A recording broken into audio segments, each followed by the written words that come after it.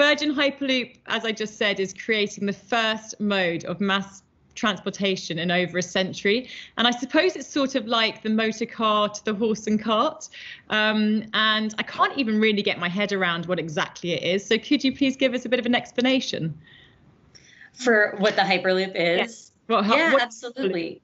Yeah, so the Hyperloop is, uh, as you'd mentioned earlier, an, a totally new mode of transportation, first new one in over a century. And basically, what it is, is you have these magnetically levitated vehicles, or pods is what we call them, that, that are. Um, kind of gliding down a track at super high speeds. And that track or that environment is enclosed in a tube, and the pressure is taken down. So it's nearly a vacuum. So, what that means in effect is that you have these magnetically levitated pods going super fast in a low pressure environment.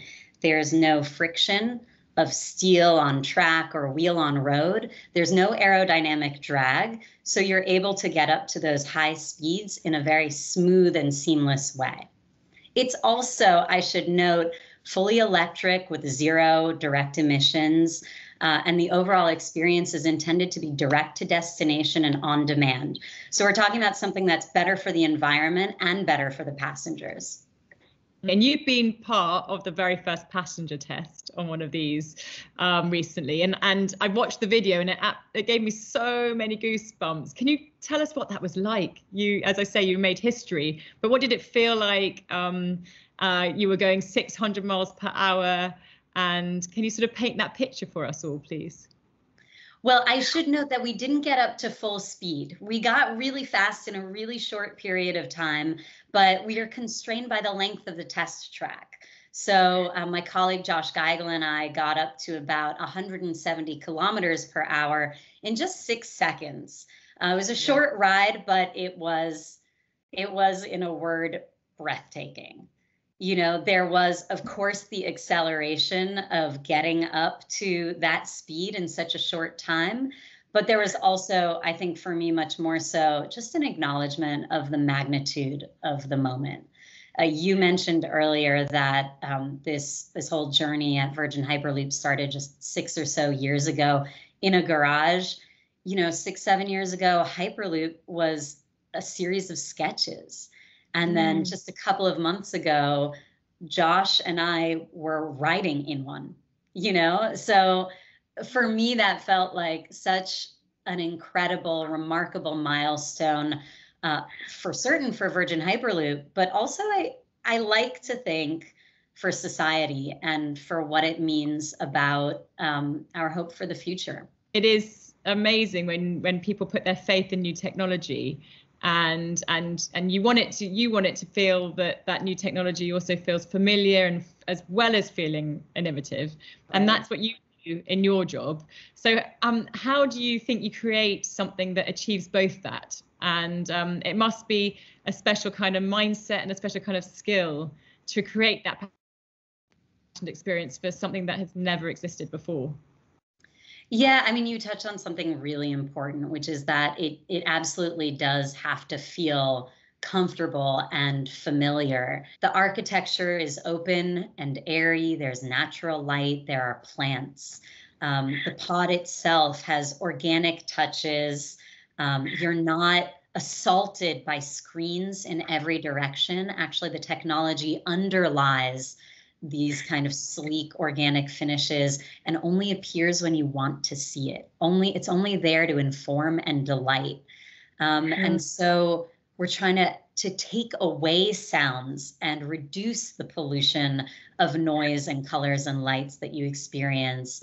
You know i've been lucky enough to work with uh, some thought leaders in surprising fields, not only in innovation and design for passenger cabin, but also in sound design.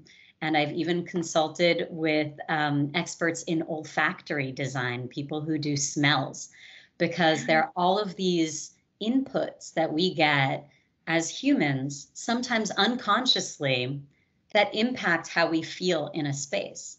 My parents were engineers. Um, they're they're immigrants from an Eastern European country. They're very grounded. Uh, and when I pursued a degree in psychology for my undergraduate studies, they were kind of like what is this fluffy stuff? You know this is my this is kind of like my little secret um, at a very engineering heavy firm is that i did study psychology and I, I really credit that experience with helping me understand the ways in which we are moved and motivated by things that we are not always fully aware of and mm-hmm. so my hope is to use those inputs like um, form factor, color, lighting, sound, even smell to create environments and experiences that are genuinely positive and comfortable for passengers of the future.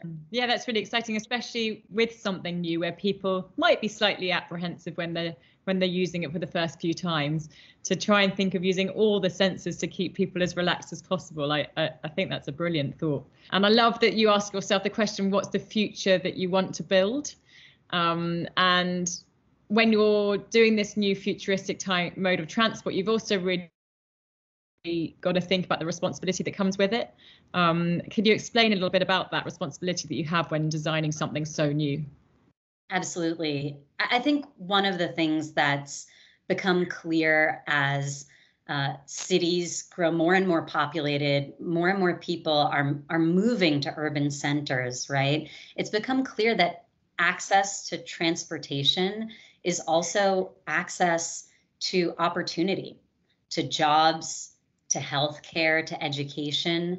Um, and so we want to create something that's truly a mass transit solution, right? That's that's not just a solution for the 1% to go from the ski chalet to the summer mansion, right?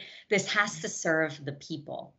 And um, transportation has historically excluded people, um, not necessarily intentionally, but it, doesn't matter. The impact is what matters. And so we have this incredible opportunity, but as you say, this responsibility to look towards the future and say, how do we make sure as many people are included in this vision as possible? I really want to bring empathy into engineering. And that's not to say that my colleagues, engineers writ large, are not kind and compassionate people. They absolutely are. But I think traditionally they haven't been invited to bring empathy into their work. But I, I love everything you're saying there because I really truly believe that businesses need to be doing everything they can for the people that work for the business, um, making sure that their customers can make good consumer choices but and and also look out for the planet so what you were saying there about your your people within the business and the customers um, and at the beginning you were saying about how the Hyperloop technology um, has zero direct emissions. And I think that's uh, such a wonderful way to help make transportation um, climate neutral. I mean, how cool would that be if you could guarantee that every time you move somewhere, you weren't producing emissions? Can you explain to me how that works and, and what this could mean for the future of travel? Yeah, absolutely. So you're right. The Hyperloop has zero direct emissions, right? It is fully electric. You have this kind of clean green form of transportation that people can use to get from point A to point B at the speed of an airline. Um, I think there's room for an entire ecosystem of transportation to exist. But here we're offering like a clean backbone, like the spine to multiple journeys. Um, and if you have fewer cars on the roads and more people are using mass transit, then that congestion and that traffic is alleviated and the pollution goes down and everyone uh, is having a better experience on the micro scale on their commute but the skies are bluer and the air is cleaner as well. Finally i would just say there are parts of the world where the hyperloop could actually uh, power itself in a sense by generating electricity using solar panels across the length of the track so I think there are a lot of opportunities, probably some we haven't even fully explored yet, to create a net zero or possibly even uh, net positive um, at the speed of an airline, but at at a, a tenth of the energy usage. It's ten times more efficient. Um, it's not spewing emissions, And when you think about the impact that that could have on the planet, I think it's pretty profound. Finally, I would just say there are parts of the world where the Hyperloop could actually uh, power itself in a sense by generating electricity using solar panels across the length of the track. So I think there are a lot of opportunities, probably some we haven't even fully explored yet, to create a net zero or possibly even uh, net positive, um, a positively impacting uh, system. Well, my next question was going to be about what do you think the future of travel is, but I think you've just explained so much of that about how great about all these different modes of transport that are going to be um, non-pollution making and also just so quick and making just making life easier for each person. And I actually think it's quite good talking about this now when there's going to be quite a revolution on the, like how people work. Um, there's lots of people who might start to work more predominantly at home. They can live further away from the office, which means when they do need to go into the office, if there's a hyperloop to make sure they get there even quicker, you can live in nice green spaces um, and just get quickly to the office when you need to.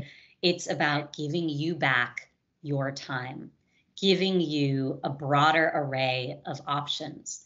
Whether you want to have the same commute time and live farther away where it's more affordable and you're closer to your loved ones, or you live in the same place, but you have more hours in your day to do what you want, to pursue your passions, to be with loved ones. That's what Hyperloop offers. That's my vision of the future and, and why I work at this company. That's what that's what brought me here and that's what keeps me here. Sorry, you've sent shivers down my spine and I'm I'm nodding along like with everything that you've said because it's absolutely spot on. How amazing if we can make sure people have the quality of of life in the workplace, but also they are able to do exactly what they want after work as well, and they're not they're not um, feeling like they are beholden to a company. They can spend time with loved ones. They can do the sporting activities that they want to do. They can learn new skills, and they've all got that. You get a whole um, range of things that you can do in your life, um, and and it's not just all about work. And I and, yeah, I, and I love the way you sum that up so. Exactly. I mean, you know, we can love our work and also not live for our work. I think this year has really taught us that mm. human connection is still so deeply important to us. And and Holly, I wish that you and I were having this conversation in person uh, rather than over a screen. Um, so, you know, being able to connect people again once that's safe and feasible to do, uh, I, I think is a wonderful vision for all that it enables. So just before this interview, I reached out to my social media followers to see if they had any questions for you. And we received dozens and dozens of questions, but one of them really stood out for me. Um, Katie, who's also known as the uh, Nurse Mum at Nurse Mum on Instagram, she wants to know how accessible the Hyperloop system will be for people with disabilities. Um, like, I'm talking to the right person here. Has this been factored into your design when designing the pods? Yes, I'm so glad you asked that. This is incredibly important.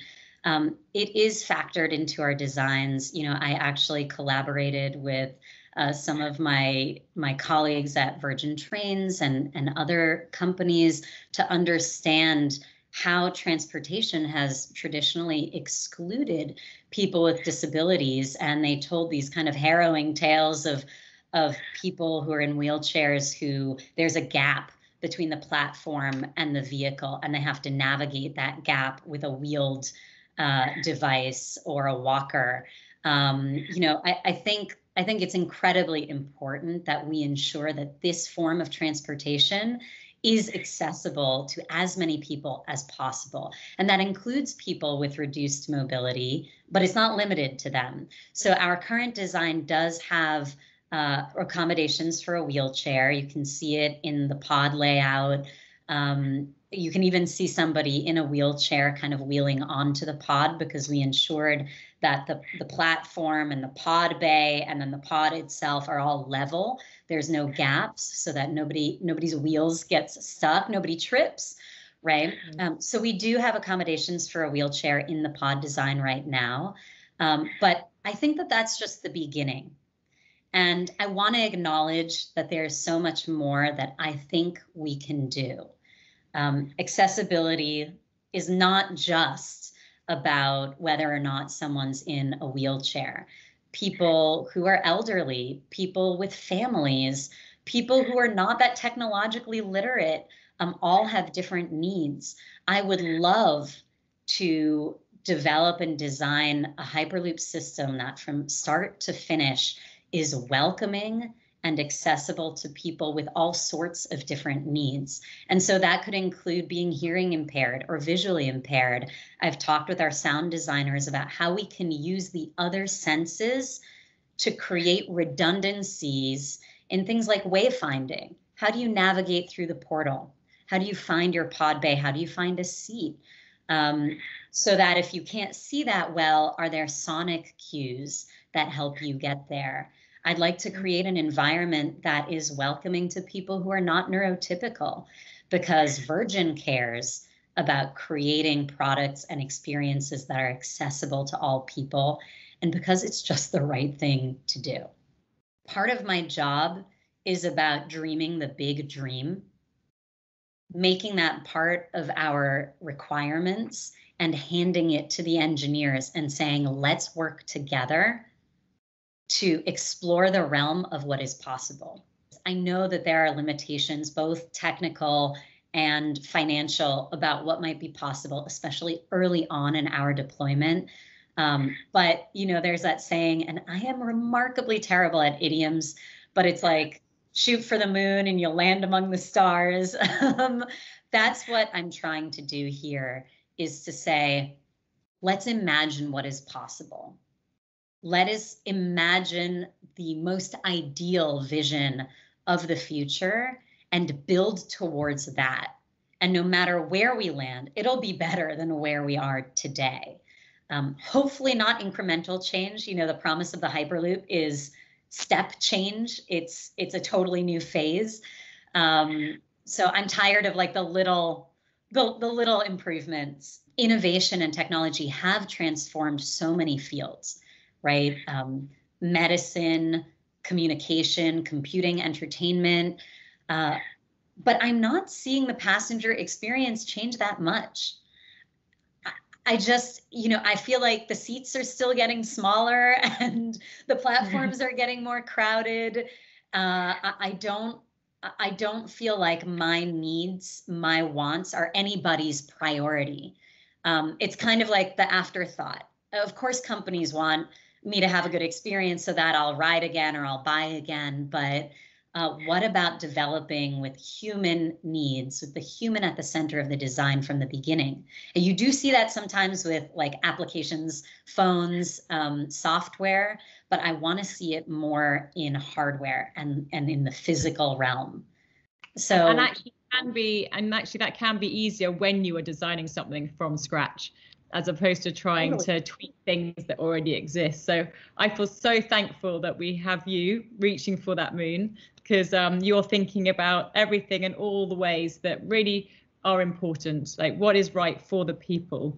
And then in that, you're going to end up with the best transportation system that you can. So thank you. It's exciting. It's it's it's the future, and it it does send um, like raises the hairs on my arms. Um, it's uh, it's just incredible. So thank you, thank you for explaining it all to me today, and also so brilliantly. Thank you so much, Holly.